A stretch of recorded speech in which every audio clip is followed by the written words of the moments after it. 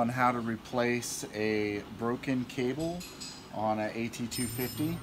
Um, from time to time over years you may have uh, some issue with uh, the little clamp here uh, with the wire getting pulled out because the clamp became uh, loose or something or uh, something has cut your cable um, so we're going to go through this 250 step by step on how to replace uh, the cable. The first step what we want to do is remove the main spring to make the trap safe.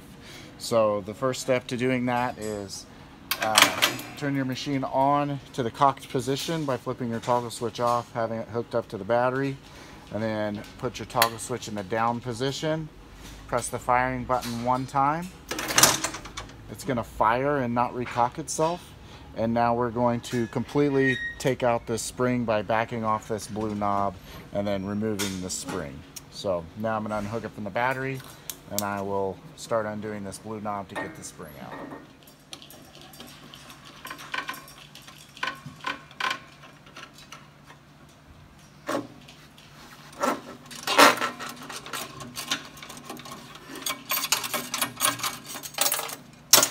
The spring out, now we can safely work on the trap. Now that your machine has the spring out, we can safely work on it without risk of injury.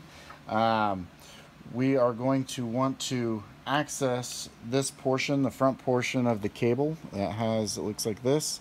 Uh, so if you follow this cable up here, and the attachment point is on this uh, arm right here, and it takes a 532nd Allen to remove this stripper bolt. Uh, but the easiest way to get to that is we're actually going to hook the machine up to power and we're going to run the motor so that it's going to be in an easier spot for us to access. So I've got the machine hooked up to power. The main spring is out so it's not going to fire. Um, so this will allow us to manipulate this arm, bringing it forward so we can easily get to that Allen. Uh, so toggle switch down, power hooked up. Then I'm just going to bump this and notice how this arm is going back. So there's two springs that are pulling it this way and so we're trying to relieve the tension off those springs. So now that it's all the way back in its stroke, the two springs have relieved the pressure on them and that's going to allow us to get to this bolt a little bit easier. But since I've also have moved the motor crank, I can now easily just push this arm forward and I can now easily get to that Allen wrench right here. So uh, with the Allen wrench, I'm going to loosen this bolt and then uh, that'll allow us to take the front part off of this cable. Okay. So now that I've uh, completely taken out this uh, stripper bolt with the 532nd Allen, um, now we can start loosening some other pieces to further disassemble this cable. Uh, so I'm just going to set these aside for now and you'll need a half inch wrench and we're going to loosen these uh, nuts right here and that will allow us to remove this side of the cable and so I'll go ahead and do that right now.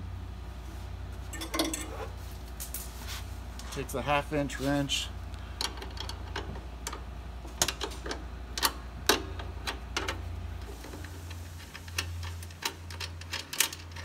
So once you loosen this backside, it'll allow you to pull the cable and then there's a little slot down here where the cable will actually come out of. And so now the next step is we're going to undo this one same way. Just loosen it.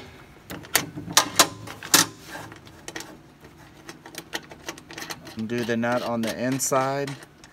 And then once you back it out all the way, you can see where that cable just slips out right there. Okay. So now uh, we need to get to the front of the cable, which the loop is at. And to do that, we are going to need to open the front cap of the machine. So the next step is to get this to this loop, which is uh, attached around the motor crank. And to get to that portion, we need to take these uh, four bolts out that hold this front cap on. So it takes a half inch wrench or in my case I'm using a impact with a half inch socket and I'm just going to loosen these and remove this front cap.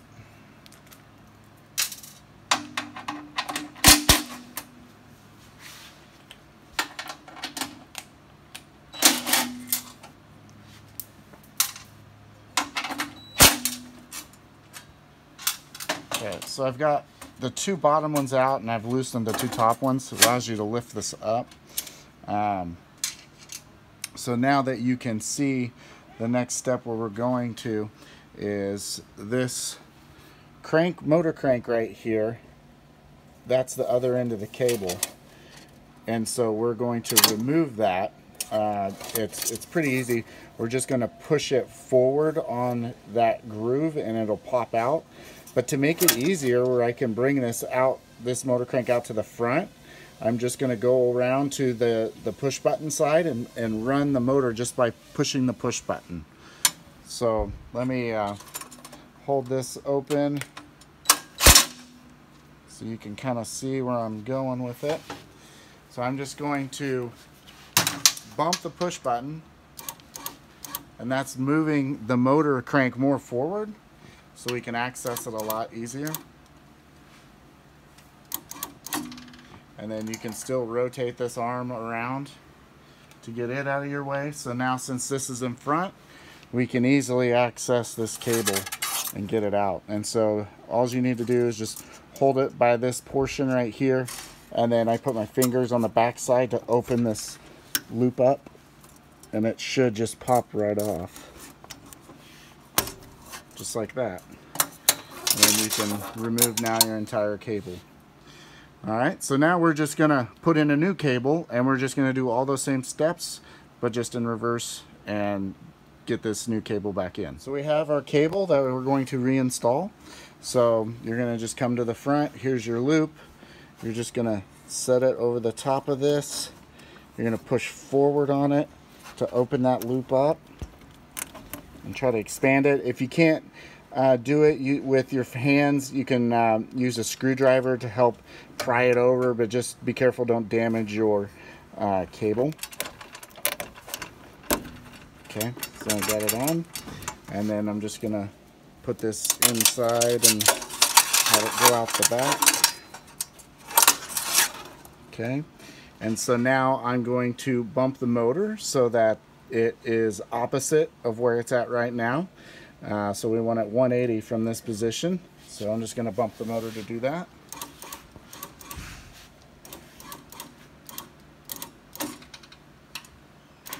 Okay. You got your crank 180. Now we can close up this front cap. So I'm just to put our bolts back in. And there's two ways you can do it. Uh, you can do it where if you've got long enough fingers, you can uh, put the bolt in your fingers like so and reach up inside and try to manipulate them on there with your fingers. But if you can't, you can come in through the back side, reach your hand up inside here, and then get your, your nuts on the bolts this way.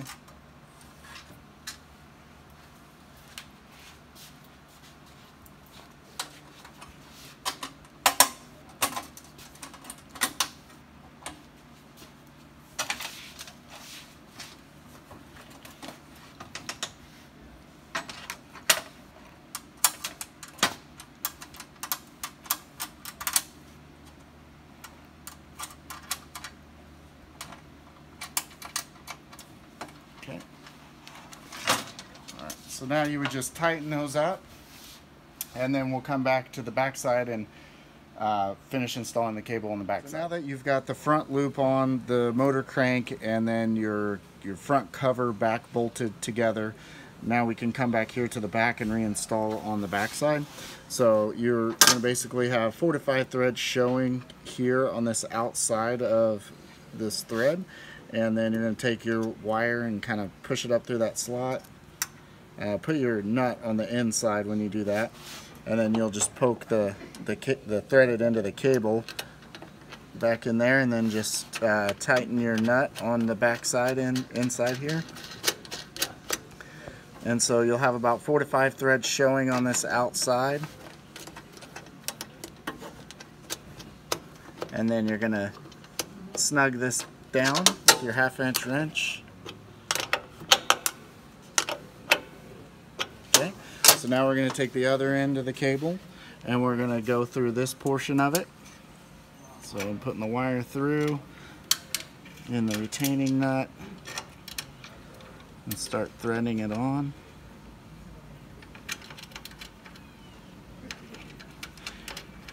And on this side, the uh, approximate location is uh, you want the cable to be just going through this nut, uh, the threaded portion. You should see just a little bit of the threaded portion coming through this nut. So I've got to adjust this a little bit.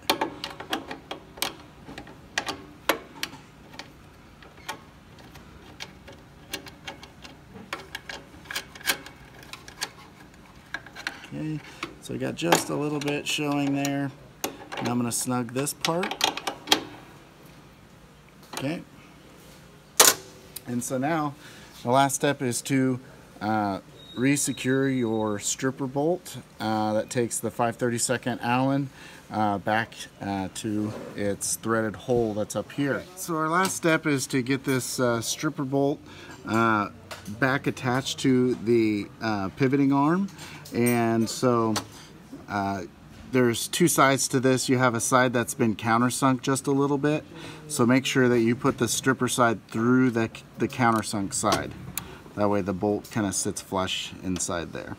Uh, so then at that point we'll take that and we're going to thread it up onto into this arm. There's a hole there that has threads. Uh, one thing uh, that you can do is use your hand to bring this closer so that when you go to screw this in uh, it will it'll be a, a, little easier for you but if you're finding it's hard to do it one easy thing you can do is just grab a clamp. And then you can push this where you where you want it and clamp it. Now you can use uh, both hands to attach your your cable into that thread. Make sure you do not um, strip your threads because then it's a whole nother process. You'll have to order a new part probably, new piece of this to uh, to replace it if you strip that bolt out. So make sure you can just hand screw it in uh, when you're doing it. Make sure you got it hand screwed in all the way and then you can tighten it. So it's 532nd Allen. Just gonna tighten it pretty tight. Don't go super crazy, uh, but get, get it tight. All right, so now we got that tight. Now I can release this and it's gonna fire back a little bit. And now it's done. Everything is replaced. And when you turn on your toggle switch, you should be able to uh, have this come around.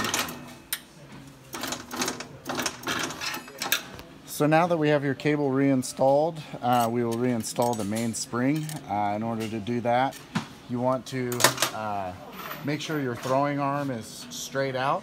So um, in order to do that, you can just push your firing button with your toggle switch down, and then it'll start moving the arm, and then you can just rotate the arm so it's straight out. So now that it's straight out, when you look inside the machine, there's a little tab that your spring attaches to tab right right there is what we're going to hook the spring into. Make sure you don't get under hooked with this cable that you just installed. You want to go above it. So I'm just going to put the, the spring in through that little eyelet like so. And then I'm going to take the, the spade bolt um, and put it through this hole. Again, making sure I'm not interwound with that cable. You want to be above it. So I'm putting it out the front, putting our uh, thread protector over that, and then installing your, your blue knot.